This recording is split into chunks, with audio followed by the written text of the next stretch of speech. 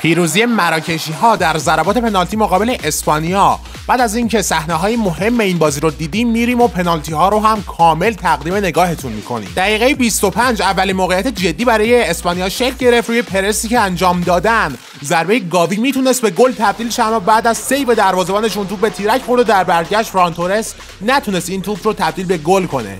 یه دقیقه بعد از این موقعیت روی پاس عالی جوردی آلبا که برای مارکو آسنسیو ارسال کرده بود می‌تونست دروازه مراکش باز بشه اما ضربه آسنسیو با اختلاف کم به بیرون رفت و دروازه مراکش باز نشد و از اون طرف مراکش هم تیم اصلا دست و پا ای نبود.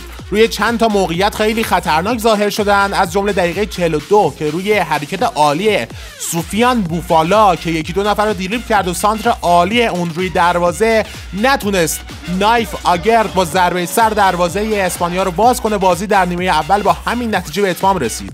در نیمه دوم هم خیلی موقعیت جدی رو شاهد نبودیم و جدی ترین موقعیت بازی دقیقه 95 روی ضربه ایستگاهی بود که دنی اولمو زد و save دروازه‌بان مراکش دروازه‌شون باز بشه و نیمه دوم هم 0 0 تموم شد. در نیمه اول وقت‌های اضافه جدی ترین موقعیت دقیقه 104 بود. تک که ولید شدیره می‌تونست دروازه اسپانیا رو باز کنه اما save اونای سیمون نذاش دروازه اسپانیا باز بشه این نیمه هم 0 0 به اتمام رسید اما دقیقه 122 نیمه دوم وقتهای اضافه. این بار اسپانیا می‌تونست دروازه مراکش رو باز کنه. دقیقه 122 روی سانتر که انجام شد. سارابیا یه موقعیت عالی داشت که توپش به تیرک خورد و دروازه مراکش باز نشد و دو تیم برای تعیین برنده بازی رفتن و سراغ ضربات پنالتی.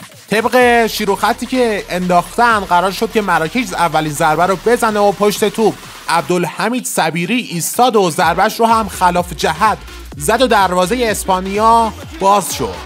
اولین پنالتی اسپانیا رو سارابیایی زد که تو بازی دقیقه آخر ضربش رو به تیرک زد و پنالتیش رو هم به تیرک دروازه مراکش کوبید و گل نشد. پنالتی دوم مراکش رو حکیم زیاش پشت توپ ایستاد. اون هم خیلی محکم زد وسط دروازه و دروازه اسپانیا مجددا باز شد. برای اسپانیا کارلوس سولر پشت توپ ایستاد و این بار یاسین بونو نذاش دروازه مراکش حتی در پنالتی ها هم باز بشه. سومین ضربه مراکش رو بدر بنونی زد که دقیقه 120 برای پنالتی ها اومد به زمین. اون هم خراب کرد و اونای سیمون توپش رو گرفت. برای اسپانیا سرخیو بوسکتس با تجربه پشت توپ ایستاد و اون هم به بدترین شکل پنالتیش رو خراب کرد و امیدهایی که برای اسپانیا کامل از دست رفته بود با چیپ خوشگل اشرف حکیمی تموم شد. پشت توپ ایستاد خیلی مسلط یه چیپ زد و دروازه اسپانیا. سومین بار در پنالتی ها باز شده این مراکش بود که به عنوان تیم صعود کننده به دوره یک چهارم نهایی جام جهانی صعود کرد.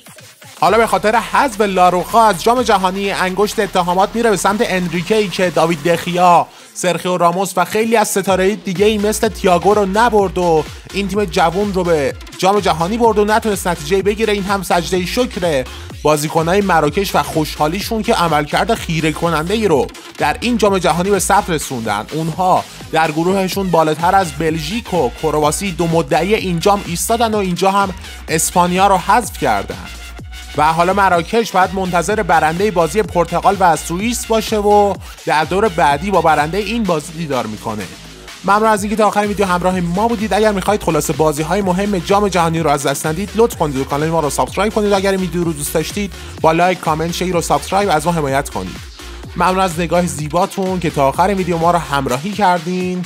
تبریک به همه مراکشی ها که امروز حسابی شادن و خدا یار و نگهدار همه شما عزیزان.